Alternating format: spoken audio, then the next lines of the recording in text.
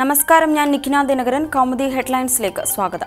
ആരോപണം ഉന്നയിച്ച് Alok. C B I തലപ്പത്തെ തർക്കത്തിൽ പുതിയ വെളിപ്പെടുത്തലുമായി മുൻ ഡയറക്ടർ അലോക് വർമ്മ. തർക്കത്തിൽ സി വി സി ഇടപെട്ടെന്ന് ആരോപണം. അസ്ഥാനയ്ക്കെതിരായ ആരോപണങ്ങൾ നീക്കണമെന്ന് സി ബി സി അംഗം കെ വി ചൌധരി തന്റെ വസതിയിലെത്തി ആവശ്യപ്പെട്ടതായി അലോക് വർമ്മയുടെ വെളിപ്പെടുത്തൽ. പരാമർശങ്ങൾ നീക്കിയാൽ പ്രശ്നങ്ങൾ പരിഹരിക്കാമെന്ന് ചൌധരി ഉറപ്പു നൽകിയതായും അലോക് വർമ്മ. ആരോപണങ്ങളുമായി അലോക് വർമ്മ രംഗത്തെത്തിയത് സി ബി സി അന്വേഷണ മേൽനോട്ട ചുമതല ഉണ്ടായിരുന്ന ജസ്റ്റിസ് പട്നായിക് വിവാദത്തിൽ അലോക് വർമ്മയെ പിന്തുണച്ചെത്തിയതിന് പിന്നാലെ. അലോക് വർമ്മ അഴിമതി നടത്തിയതിന് തെളിവില്ല. സി ബി സി റിപ്പോർട്ടിലെ കണ്ടെത്തലുകൾ തന്റേതല്ല എന്നും തന്റെ മുന്നിൽ രാകേഷ് അസ്ഥാന നേരിട്ട് മൊഴി നൽകിയിട്ടില്ല എന്നും വിശദീകരണം. ഉന്നതാധികാര സമിതിയുടേത് തിരക്കിട്ടെടുത്ത തീരുമാനമെന്നും ജസ്റ്റിസ് പട്നായിക്.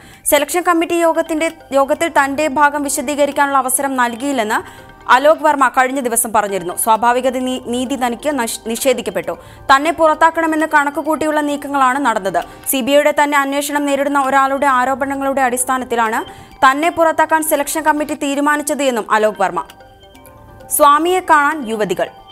ശബരിമല മകരവിളക്കിന് ഉത്സവത്തിന് രണ്ട് ദിവസം മാത്രം ശേഷിക്കെ മല കയറാൻ യുവതികൾ എത്തുമെന്ന് കേരള കൗമുദി ഫ്ളാഷ് റിപ്പോർട്ട്. മകരവിളക്കുമായി ബന്ധപ്പെട്ട് വൻ തിരക്കുള്ള സന്നിധാനത്തേക്ക് വേഷം മാറിയോ അല്ലാതെയോ യുവതികൾ മല ചവിട്ടുമെന്ന് സൂചന. സന്നിധാനത്തേക്ക് എത്താൻ തയ്യാറെടുക്കുന്നത് ആക്ടിവിസ്റ്റുകളെന്നും റിപ്പോർട്ട്. എന്നാൽ യുവതികൾ എത്തുന്ന കാര്യം സ്ഥിരീകരിക്കാതെ പോലീസ്. യുവതികൾ എത്തുമ്പോഴുള്ള പ്രതിഷേധം കണക്കിലെടുത്ത് കനത്ത ജാഗ്രതയിൽ നിരീക്ഷണം ശക്തമാക്കി പോലീസ്. മകരവിളക്കിനോ മകരവിളക്ക് കഴിഞ്ഞ ശേഷമോ ആകാം യുവതികൾ എത്തുന്നത്. ഭൂമാതാ ബ്രിഗേഡ് നേതാവ് തൃപ്തി ദേശായി ശബരിമലയിൽ എത്തുമെന്ന പ്രചാരണവും ഉണ്ടായിരുന്നു. എന്നാൽ ഈ സീസണിൽ മല ചവിട്ടാൻ ഉദ്ദേശിക്കുന്നില്ലെന്നും മറ്റ് പ്രചാരണങ്ങൾ ഗൂഢ ഉദ്ദേശത്തോടെയെന്നും തൃപ്തി ദേശായിയുടെ പ്രതികരണം. നേരത്തെ മല കയറാൻ ശ്രമിച്ച മനിതി സംഘം യാത്ര ഉപേക്ഷിച്ചിട്ട് ഉപേക്ഷിച്ചിട്ടില്ല എന്ന് സൂചന.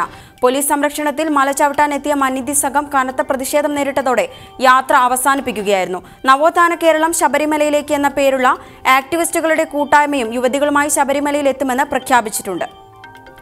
ഖനനം നിർത്താതെ ചർച്ചയില്ല. കരിമണൽ ഖനനത്തെ തുടർന്ന് പ്രതിസന്ധി നേരിടുന്ന ആലപ്പാട് സമരസമിതി നിലപാട് കടുപ്പിക്കുന്നു. ഖനനം നിർത്തിയ ശേഷം ചർച്ചയ്ക്ക് തയ്യാറെന്ന് സമരസമിതി. സർക്കാർ ആലപ്പാട്ടെ ജനങ്ങളെ വിശ്വാസത്തിലെടുക്കണം. ചർച്ചയ്ക്ക് വിളിച്ച സർക്കാർ നടപടിയെ സ്വാഗതം ചെയ്യുന്നതായും സമരസമിതി. തീരുമാനം ആലപ്പാട് ഖനനത്തിൽ സർക്കാർ ചർച്ച നടത്തുമെന്ന് മന്ത്രി ജെ മേഴ്സിക്കുട്ടിയമ്മ പറഞ്ഞതിന് പിന്നാലെ. വ്യവസായ മന്ത്രി സമരക്കാരുമായി ചർച്ച നടത്തുമെന്ന് മേഴ്സിക്കുട്ടിയമ്മ. സർക്കാരിന്റെ നിലപാട് അശാസ്ത്രീയമായി ഖനനം അനുവദിക്കില്ല എന്ന് സർക്കാർ ജനങ്ങൾക്കൊപ്പം നിയമസഭാ സമിതി പരിസ്ഥിതി report I R E company പാലിക്കണമെന്നും മേഴ്സിക്കുട്ടിയമ്മ.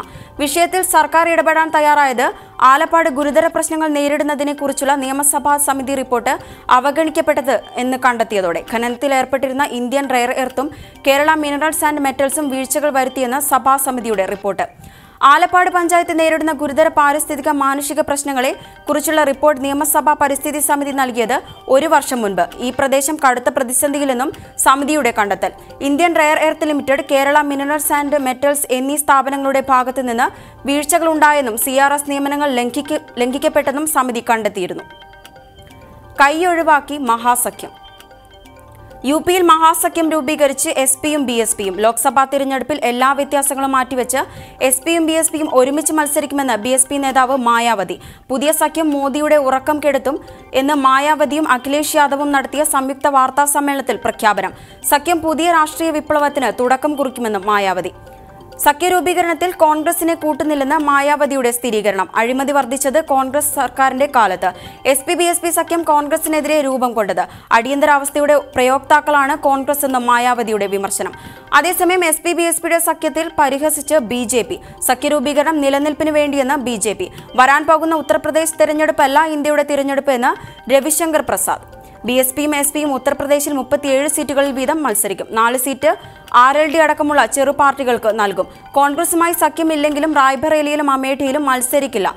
നേതൃത്വങ്ങൾക്ക് ഊർജം നൽകുന്നത് മൂന്ന് ഉപതെരഞ്ഞെടുപ്പുകളിൽ ഒന്നിച്ചു നീങ്ങിയപ്പോൾ ബി ജെ പിക്ക് തിരിച്ചടിയേറ്റത്.